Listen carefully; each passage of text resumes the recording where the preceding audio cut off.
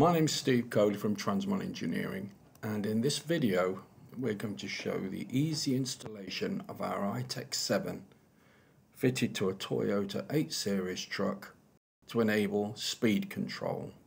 We will be using adapter harnesses so that we have a plug and play connection to the truck's OEM harnesses.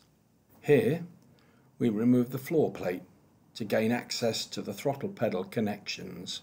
Disconnect the OEM harness from the throttle pedal and using the Toyota adapter harness connect the adapter cables to the OEM harness and the throttle pedal.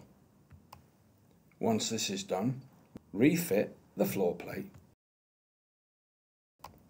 Now route the cable from the adapter harness to the module position.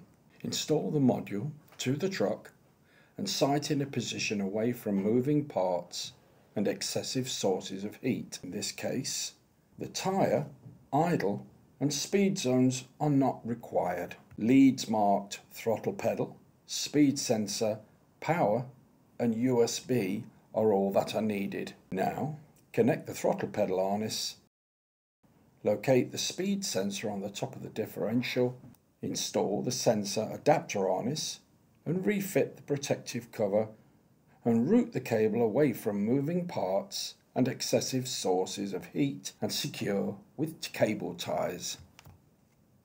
Connect the speed sensor harness to the module harness. Connect the power supply cables to a permanent supply. Remove the blanking plug from the USB lead and connect this to a computer running the iTEC 7 software. Run the program and follow the instructions to calibrate the throttle pedal to the iTEC 7 module.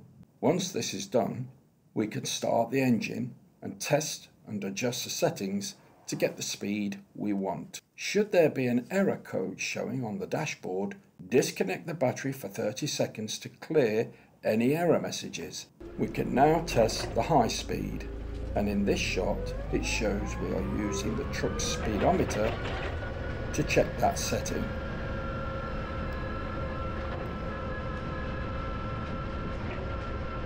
In this shot we're now going to check the low speed setting and in this case it's 5 miles per hour.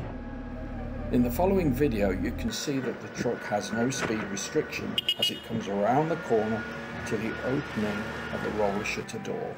In the next shot the truck is restricted to 5 mile an hour and in the next shot, here we have adaptive and we're using one of the zone inputs to detect the pedestrian. You can have up to three different speeds. I hope you found this video useful and thank you for watching.